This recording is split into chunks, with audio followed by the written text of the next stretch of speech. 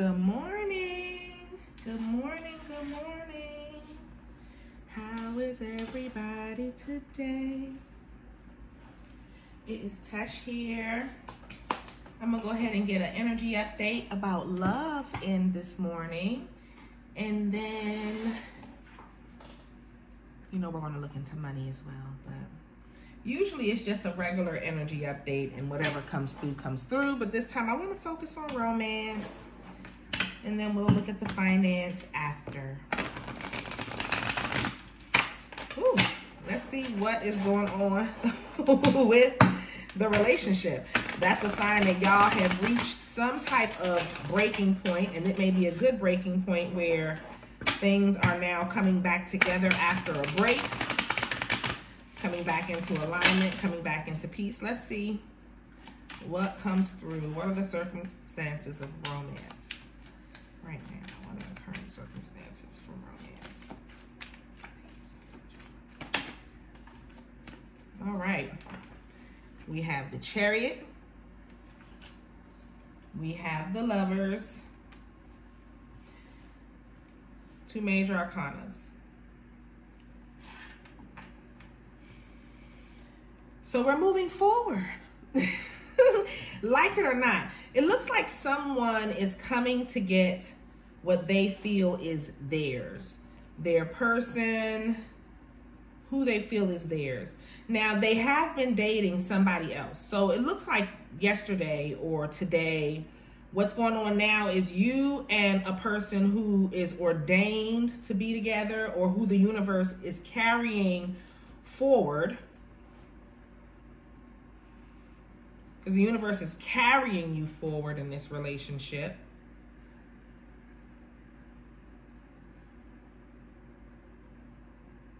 Y'all spend some time together.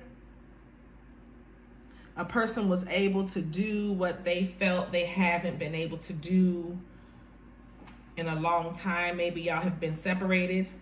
Someone didn't appreciate the relationship that they were in. Four cups, two of pentacles and then they were sending out energy to try to get you back. That energy got you back.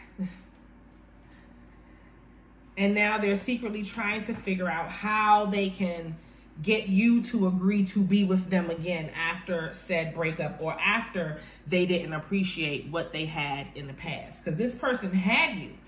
You were available. You were something totally different than what they had ever been with before you were sexy and confident and sophisticated and you had a lot going for you. You have a lot going for you in your life.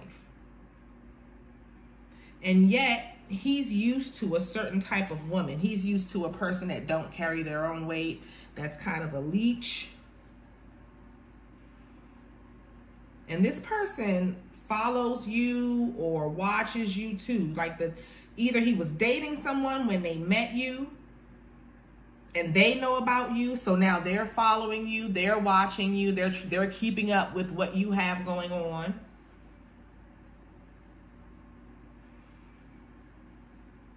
And also he's watching you. He's keeping up with you. He's watching everything you have going on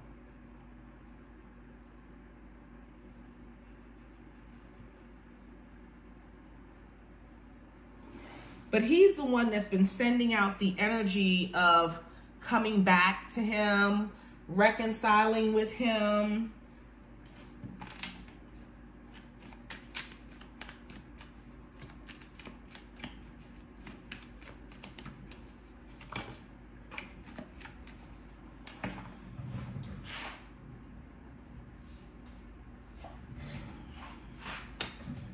We have the Four of Pentacles. He wants to hold on to you.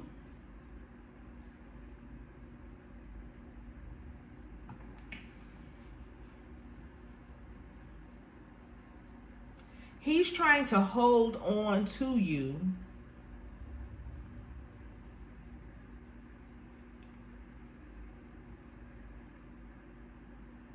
But you're back in some type of energy where you're not really paying him any mind whatever he did when y'all had whatever separation, because it was a time when he wasn't appreciating what was in front of you. That's the reality of the situation. He wasn't appreciating what was in front of him. Or, on the other hand, if you were with somebody like a female, she wasn't appreciating what was in front of her.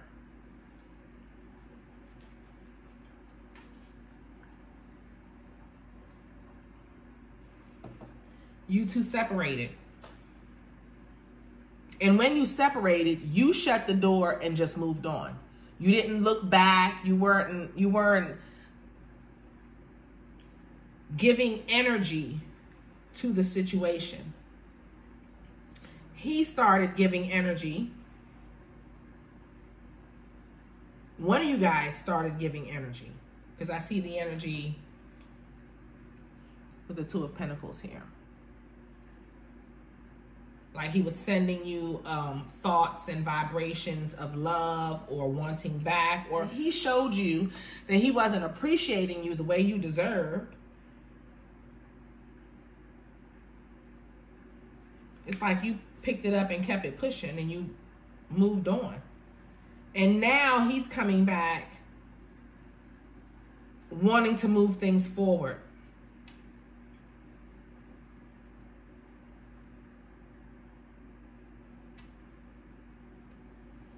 This relationship seems to be protected.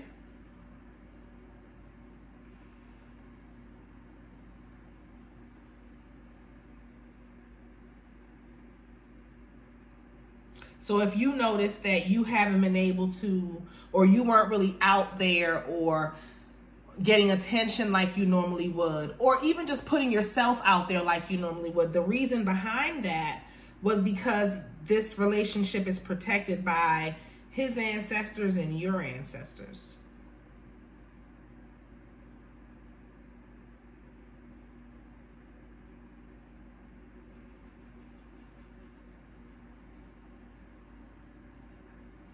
Y'all even have some type of guardian, like guardians. Both of you guys have spiritual guardians that are protecting you individually to make sure you stay on track, that no more harm or distractions come towards you guys.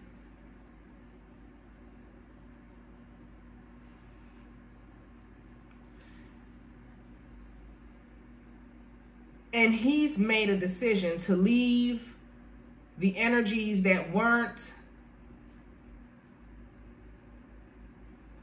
at his level and at your level alone. So now he's going to show you, his intentions is to come into your life and show you that he sees the value in you, that he sees the value in the woman that you are. Because he's really not accustomed to this. He's not accustomed to your swag or your energy or your healing energy. Whatever it is that you have going on with you, he is not accustomed to it at all.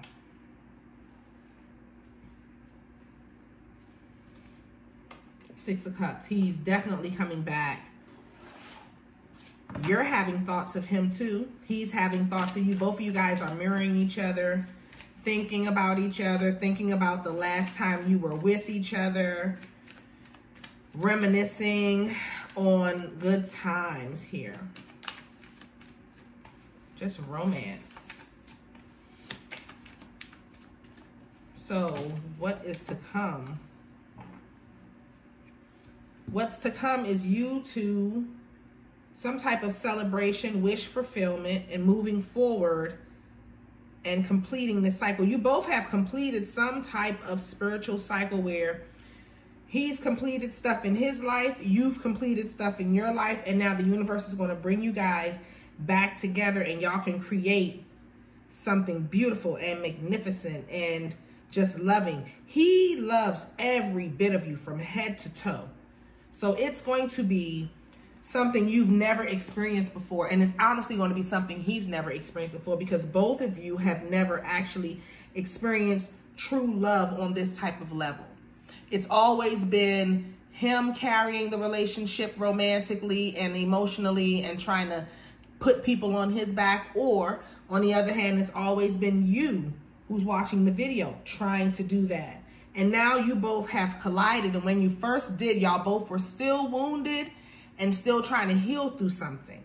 Now the healing has completed. We have the world card, we have the magician, like it's time to move forward. And during this healing time, he's been able to experience what he's always been accustomed to.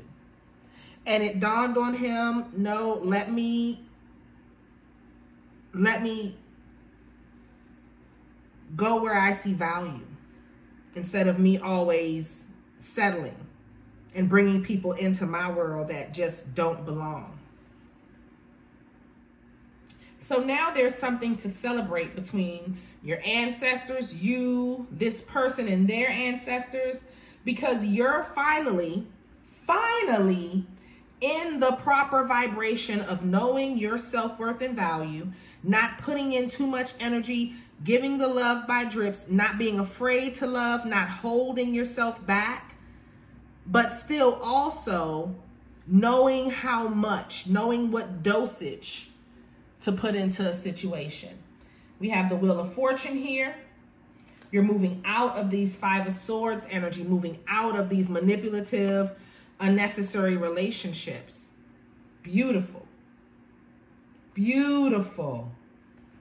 Judgment. Ending to those type of relationships and going into a mutual bond, a mutual relationship. Something where you both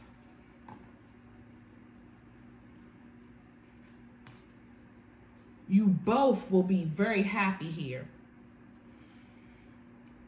Your needs both will be met sexually, emotionally, financially, spiritually. Your needs will be met. You'll have a friend. Like that's what you have in each other is a friend. This is truly a wish fulfillment when y'all met each other or came across each other. So let me clarify. Let me clarify this chariot, please. Oh.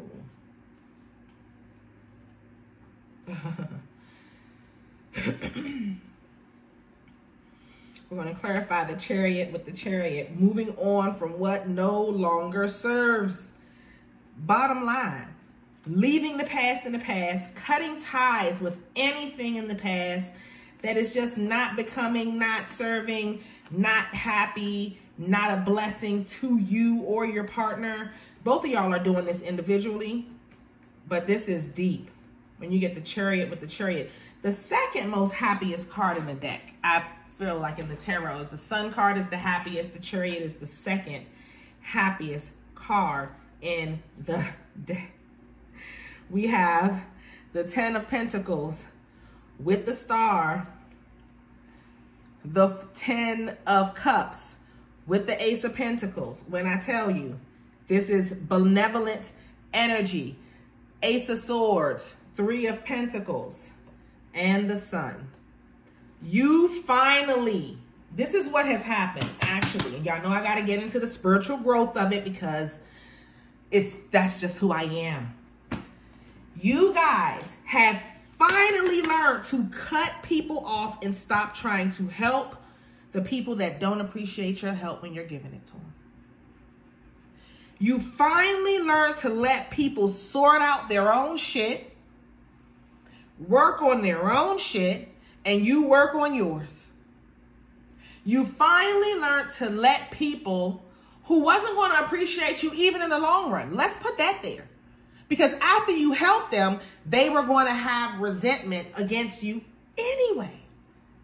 And the moment you came to that conclusion, and you did some type of spiritual cord cutting, something in your mind, you may have done a spell, it may have just been in your mind, you know what, I'm going to stop this behavior. And you said it and you were finite about it. This time, you were finite about the decision. And here we are. Full blown, it's all handed to you on a platter. The love, the money, the everything that you could ever want in life is just going to come flooding into your life.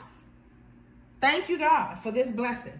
And it's because you finally got the friggin' point to move the fuck on. It's just, it's just such, it's so poetic. It's so poetic.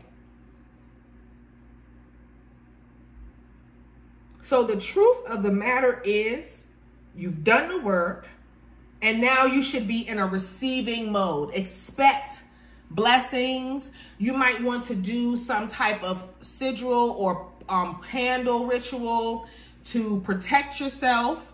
Maybe light a black candle, put in it a little bit of mugwort, put a little bit of clove, put a little bit of camphor in there, and put on your petition, banish negative energy, protect from evil eye, attract love, money, and wealth. And you just want to use a black candle for this. You can use a white one if you don't have a black one. You can draw a sigil on it, put your name on the candle three times, and speak into the candle while it's lit what it is doing for you and let that baby burn out. If you're doing a seven day candle, you can snuff it out and then light it whenever you feel like someone's trying to send you some type of negative energy or anything to that nature, okay? And you can just light it then and it will bounce that energy right off of you and also attract wealth towards you in the same time. Okay? Very simple. So y'all need to just move forward. I'm not even going to continue no reading here because this is powerful. This is beautiful. And I'm just so happy I really am. I'm very proud and happy for you guys. Protect yourselves out here. If you don't believe in the candle ritual, you can do something like just meditate and put a beam of protection around you, a white light of protection, or like a little sphere of protection around you so that if anything comes towards you, it can bounce right off. And the sphere can be mirrored or whatever you want it to be. If you've seen Wakanda Forever, you can do it like that and have that beautiful little sphere around you. And that will protect you and keep you away from harm. Okay? All right, my loves. I'm going to go ahead and get off of here. I love you. Thank you for allowing me to do this beautiful love reading. And I will see y'all in the next video. Bye.